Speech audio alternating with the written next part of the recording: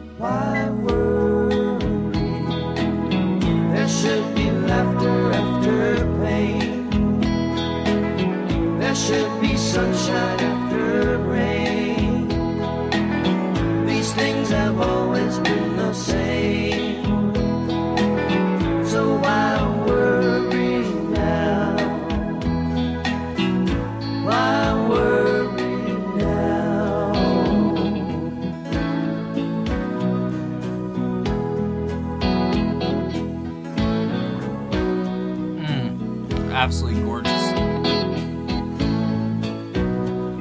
That little pull, oh, so good.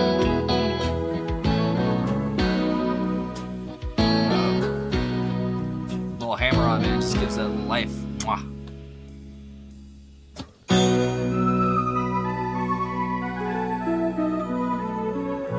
Baby, when I get down, I turn to you,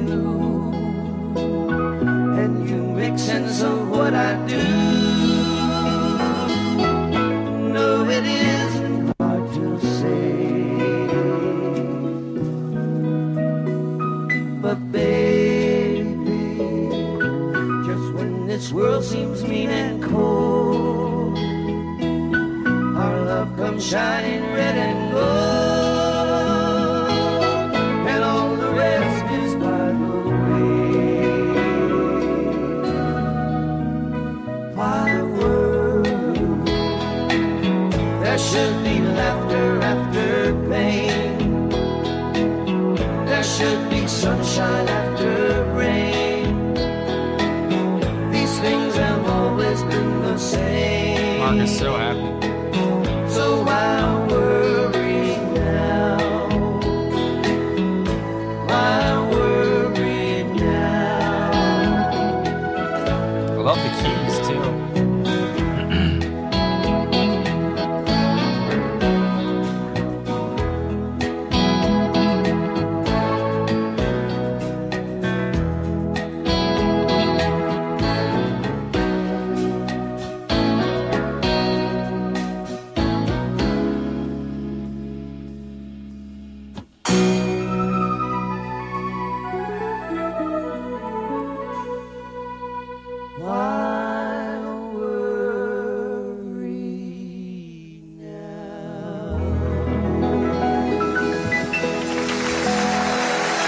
That's wild. That's a Dire Straits song.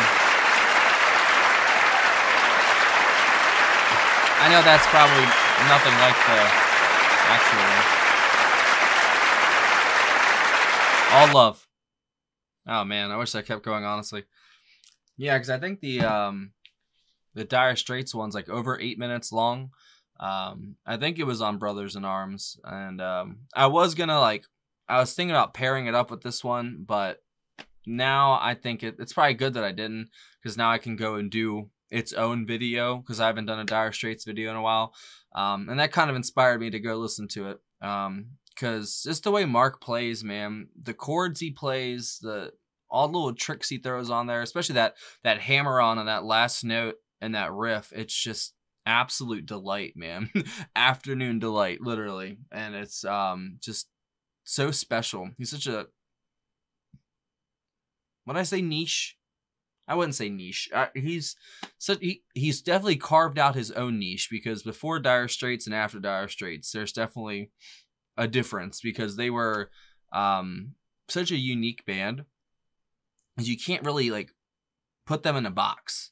Like you can put them in a overall rock box, you know what I'm saying? But they throw in a little bit of I don't even know everything. They they there's like a little bit of hard rock, honestly a little bit like rockabilly and country at points. There's kind of slow lovey ballads, you know, like they you just can't pin them down. You can't pin Mark down. He's like a very enigmatic figure. I've used that kind of term to describe him before because he doesn't seem to have an ego and he kind of seems to be okay to like fall into the background, which a lot of stars aren't okay with that. They want to be the shining star at all times, literally. That's why they're called stars. Um, they want to be um, seen and heard and everything acknowledged at all times, and they need their egos stroked. And oh, how dare this song, you know, my song be performed by other people? You know, I've definitely heard of it happening, but he seemed content just sitting back and letting um, the Everly Brothers sing that perfectly um the harmonies they get obviously the brothers i'm guessing they're called the everly brothers so that's what i'm guessing. Um they get that family harmony in a way you know? Just like we listened to the Bee Gees earlier today and all three of them their harmony is just deadly. It's like the csn harmony. It's those guys aren't brothers but they were just that they were born to sing together though. I'll, I'll give you that much. Um I didn't really get much of Chet here. Like I said, I don't know much about him. I know he's an absolute legend. I know that much. But I felt like this is more Mark and the Everly Brothers. Like Chet Atkins is there definitely and like playing the acoustic with the Everly Brothers too. And I kind of heard all like throughout the layering of the guitars and the keys, like there was a lot of different guitar parts going on and tracks, but there was also the keys underneath it all. It's very ambient and very late 80s keys. that Casio, that's what it sounded like. And um, it just kind of gave it a flavor to it, you know?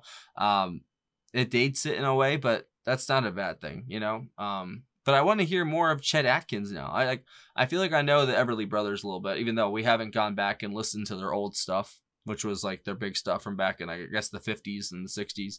Um, definitely want to do that. But I want to hear more Chet Atkins now because like I felt I feel kind of robbed now that I was expecting to okay now I'll know about Chet Atkins.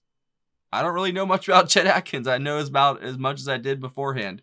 Um, but Mark, uh, no matter what, like I said, you can't put him in a box. and he's always going to give you something great. And that chord progression, that hammer on, I mean, just that whole little riff, it's so melancholic and uh, not even like memory inducing, but it go- it does kind of put you in like an introspective kind of mood, you know.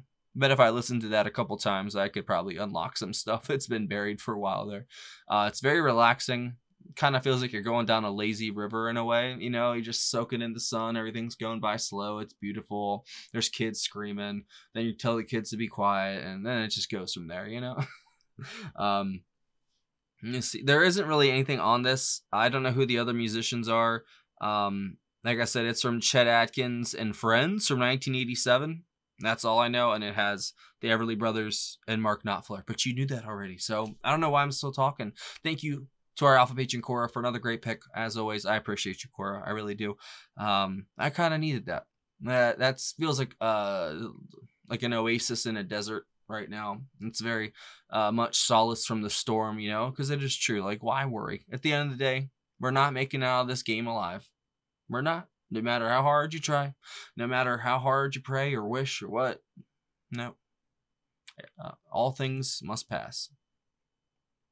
You really do. But why worry? If that's what's the end goal anyway, if that's what's going to happen anyway, might as well enjoy your life while you're here, right? I kind of took that the wrong way though as a younger person. It's still sage advice, but I was like, "Oh, I should go do lots of heroin." That's the best idea ever, you know. And uh and then I found out you can mix cocaine with it. What? What? Come on, man. That's not fair, you know? And then um everything else um that stuff came into my life and everything else left. That's how I look at it. And um I'm glad that I don't have to worry about that anymore because that's a hell of a lifestyle having to wake up every morning and uh, finding out some kind of scheme or some kind of you know just to make a little bit of money to maybe get what you need and then worry about food and drinks and whatever else afterwards you know? It's just a terrible lifestyle. It's so lonely and you surround yourself people who do the same thing to try and make yourself not feel as bad you know? You're like oh well these people are doing it so it can't be that bad but they're all doing the same exact thing so you guys are just screwing each other basically in more ma- more ways than one usually too. So it's um it's not it's not conducive for anything you know? And it just sets you backwards over and over and over and eventually you just die from that and that sucks. I've lost so many friends that way but i just refuse to um go out that way. If i go out uh, anything but that. you know what I mean? Anything but that. God, that'd be a bitch, right? Mm. Mm-mm-mm. Well, rest in peace to everybody who we've all lost along the way. But don't worry. That's the message of the song. See, I can't I can't say that with a straight face because I I don't know. I I was listening to it. it. It's a beautiful song, but there are things you got to worry about, you know, especially if you want this life to be uh, somewhat like a, a, modicum of success or a modicum of comfort or anything like that. You know, it's you got to put in some work. You got to have some worry. That's just life, you know. This is a nice way to de stress from the day and, you know, all that I'd say, but I don't know. There are some things you need to worry about. But what I said still stands. We do we don't make it out of this alive. So in the end, big, big scheme of things, it don't matter. But for the small day to day things, it definitely matters. But that's just my opinion. What do you guys think of that song? Should I do the original Dire Straits song now? I will if you guys want me to. So, so let me know. See you later. Oh, well. See, I was almost cool. Let's try that again. One, two. And if you are in search of a musical community and you'd like to see a video done just like this for you, uh, look in the description. There's a link for our Patreon community. Uh, join the $15 tier or up, you get one free request a month. Um, if you join, just look at the September Patreon request thread. It'll be the pin post on there. It'll have all the rules and regulations and such, shall we say, for the request. Um, there's also a PayPal as well in the description if you want to send a tip or request in that way. Thanks for watching, y'all. I will see y'all later.